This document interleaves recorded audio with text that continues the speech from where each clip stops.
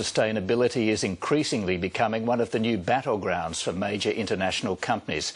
No industry is more in the firing line than the paper industry because of the need to cut down trees to make paper. One of the world's biggest paper makers is Indonesian-based Asian Pulp and Paper, and its global head of sustainability, Aida Greenbury, is visiting Australia at the moment. Aida Greenbury, welcome to the program. Thank you for having me. We've just heard how palm oil companies in Indonesia are again illegally burning forests, uh, killing orangutans and other endangered species. The paper industry has also historically been involved in illegal deforestation. What guarantees can you give our viewers that the Indonesian paper industry has stopped illegal deforestation and in particular Asia pulp and paper? When you talk about legality, we have to refer to the framework that the Indonesian government already set up. Um, uh, recently, Indonesian government um, just launched a new standard in legality for a timber legality assurance system, SVLK and has been rolled out probably um, earlier this year, and uh, their target to finalize the auditing uh, works and also the certification works by end of this year. And uh, we, are very, we're very proud of our system, and we've been very supportive. And uh, just three, two or three days ago, APP's my company, Asia Pulp and Paper, has actually finally uh, achieved the first certification in pulp and paper industry in Indonesia. But with the renewed uh, burning forests for palm oil in defiance of court orders in Indonesia for that to stop, doesn't that just show that the government isn't in control? Um, palm oil is under the agriculture uh, ministry, and uh, burning is definitely an illegal activity. It's not supposed to. It's not supposed to be done by any companies. Burning actually uh, uh, very closely associated with illegal um, and, and, and, irresponsible, uh, unsustainable practices by uh, communities, some communities. Therefore, socialization, education is very, very important in Sumatra, in Kalimantan, in other remote areas in Indonesia to make sure that the local community does not practice slash and burn activities and also other unsustainable practices in, while clearing the, the, the land to develop their crops. My understanding uh, is that in the recent past, the French retailer Carrefour, as well as the food maker Kraft, have walked away from your company because of concerns over damage you're doing to the environment. That's not a good sustainability look, though, is it?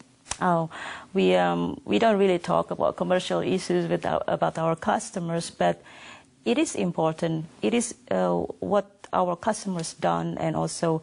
Uh, but if they're expressing concerns about your your handling of the environment, that is important, though, isn't it? Absolutely important. That's why we uh, just recently, actually, on in, in, May and also on 5th of June, we restructure our procurement policies, also responsible uh, procurement guidelines within APP to make sure that we are uh, protecting high conservation value forests, we also are uh, respecting uh, the, the community and embracing free and prior informed consent. And also, uh, we also pledged to lead the research on high carbon stock in our operations. That way, we are confer uh, we, are, we, we make sure that our products are procured and also processed in a responsible manner. This, of course, uh, would have been, uh, wouldn't, we wouldn't have achieved that without the input from our customers and also civil societies in, in general. So is that code for saying your customers have forced you to change your ways? I wouldn't say it forcing. I would say that sustainability is based on multi-stakeholder input. Our sustainability policy has to be based on input by our stakeholders. They can be customers, employees, communities, government. So customers is one of the very important stakeholders that we have to listen to. So our sustainability policy is a product created by our stakeholders. It's not a product created by us. That's, that's how we uh, created policies in our company. President Yudhoyono wants Australia to become a top 10 trading partner with Indonesia. I think we're 13th at the moment. Can you see areas where trade could, could really be boosted between Australia and Indonesia? One of our affiliates uh, are investing in Australia uh, with, with, the, with the tissue converter and, and, and vice versa. But there are two things that both our governments need to do some work in terms of clarity of regulations and also transparency on how to invest in both countries. Those two need to be clarified as well. German Chancellor Angela Merkel is in Jakarta at the moment and uh, she's just signed a, a, treaty with Indonesia which includes boosting trade. Is that a warning to Australian business that if they don't fill the void and get in quickly, that, that businesses in other countries are more than happy to trade with Indonesia? Yes, probably. I don't know. I cannot really speak on behalf of Germany, but uh, I really think that Indonesia offers really good opportunities.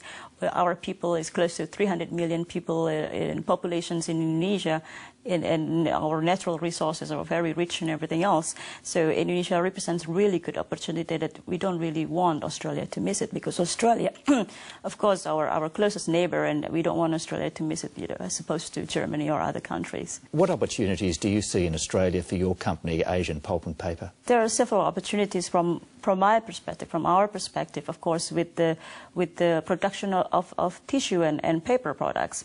Instead of, uh, instead of importing the material or, or, or, products from Europe or from Brazil or from uh, Korea or, or, somewhere, somewhere uh, further, I think Australia should really look into what's available their, on their doorstep, which is from Indonesia.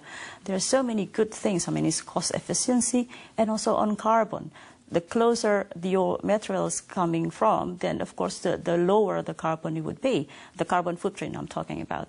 And also um, it's just it's just really good. I mean, Indonesia is a new kid on the block in the uh, paper production. That means we are embracing new technology, so it's more energy efficiency and everything else. Emissions are much lower than importing the material or the or the products from other countries in Europe or in America, for example. Aida Greenbury, thank you very much for your time. Thank you so much.